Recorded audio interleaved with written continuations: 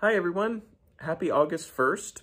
I'm Seán Heely and I'm going to be dedicating a tune today to Clan Currie, especially for them. It's called Currie's Rambles and it's by fiddler James Scott Skinner who was active during the early 20th century.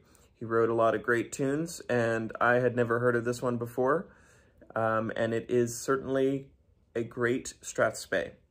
So I hope you enjoy. This is for the Kindred of Currie.